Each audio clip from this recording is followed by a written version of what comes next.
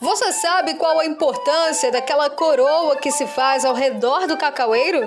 No Dica de Campo de hoje, o Alex Novaes vai te explicar exatamente o bem que esta simples ação faz para a planta. Dica de Campo, parceria entre a Natucoa e a cooperativa Copesba. É programação exclusiva da sua TV Cacau.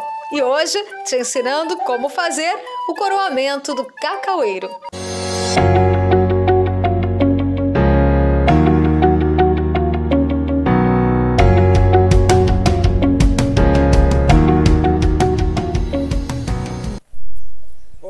Turma, tudo bem? É, vamos falar agora da importância do coroamento do cacaueiro. Por que coroar o cacau? Muitas pessoas falam, ah, é necessário, pode, é necessário você fazer o coroamento. Você pode fazer o, cora, o coroamento e jogar o adubo, ou eu posso jogar adubo sem fazer o coroamento. Isso depende da questão de mão de obra, de custo e de eficiência. Porque o adubo necessita do contato com o solo para estar disponibilizando os nutrientes para, para as plantas. Se eu chegar com adubo e jogar sobre a matéria orgânica que fica aqui no casqueiro, que é isso aqui, que fica sobre o cacaueiro, que é essa matéria orgânica aqui seca, então ele vai demorar muito tempo para o contato com o solo. Então esse adubo, a depender das intempéries, que é questão de chuva, às vezes insolação, você vai perder boa parte dos nutrientes que está composto no adubo, vai perder-se para, para o ambiente. Então o correto seria você fazer o coroamento. Qual seria essa distância? Alguns falam de um metro, outro fala da distância da saia do cacaueiro, que a saia do cacaueiro é justamente a copa que transforma o cacaueiro. Então, o ideal seria entre um metro, um metro e meio. Isso seria o ideal para você fazer o coroamento do, do cacaueiro. A importância é, você vai afastar aqui o tronco do cacaueiro, você vai medir mais ou menos um metro, um metro e meio, vai depender da sua necessidade, sua disponibilidade, porque cada é, raio de ação desse de um metro, um metro e meio, o custo vai aumentando. Então você com um metro e meio seria o ideal. Porque quem vai se alimentar do adubo são as raízes fasciculares. As raízes que estão sobre o solo aqui, que são aquelas raízes, as radicelas minúsculas, que é isso aqui, ó, que vai estar se alimentando do adubo. Não é o tronco do cacaueiro, não é pivotante, porque às vezes a gente chega dentro da lavoura e o que é que acontece? O camarada faz adubação no tronco do cacaueiro. Nós, nós técnicos de campo, às vezes chegam a encontrar até adubo, resíduo de adubo dentro do, do, do, do da desbrota do cacaueiro.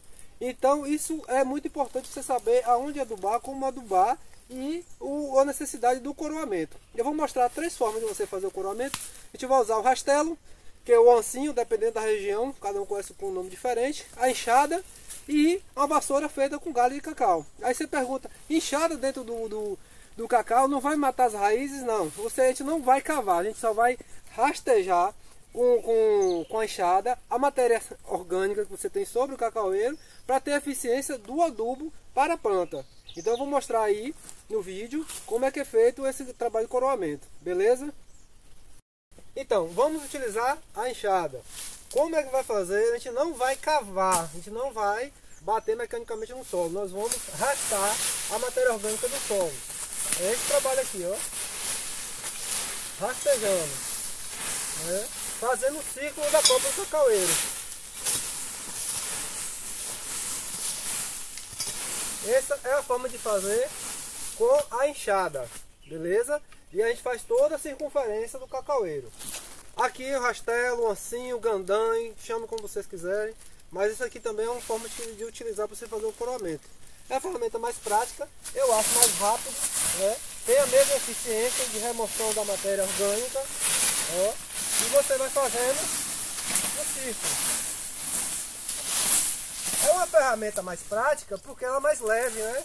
O único incômodo às vezes é que a matéria orgânica acaba, a palhada do cacau acaba grudando aqui nos dentes, aí você vai ter que fazer essa remoção.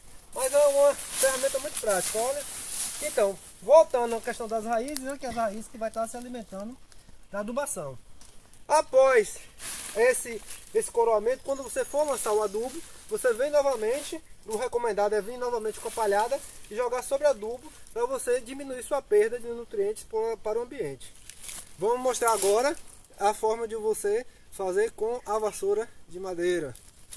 Então, aqui é uma vassoura que você pode fazer com galho, é prático, biodegradável, ecologicamente correto, né? Então esse aqui também você, você utiliza dentro da roça para fazer o trabalho de coroamento. Vou mostrar a praticidade também. Você vai arrastando, bate folha ao redor da planta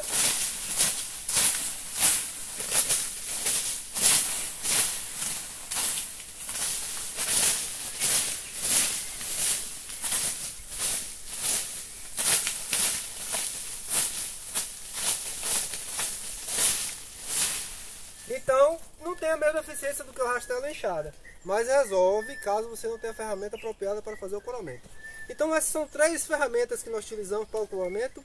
A importância do coramento é poder estar facilitando a distribuição dos nutrientes do adubo para a planta e o maior contato do solo com o adubo. E isso vai estar sempre disponibilizando o adubo para a planta, beleza? No próximo vídeo eu vou falar sobre a diferença de adubo granulado que aí tem o adubo encapsulado, que as pessoas veem que é o adubo capsulado, e o adubo comum que é utilizado aí para adubação do cacaueiro, beleza? TV Cacau, produzindo conteúdos com fruto do conhecimento.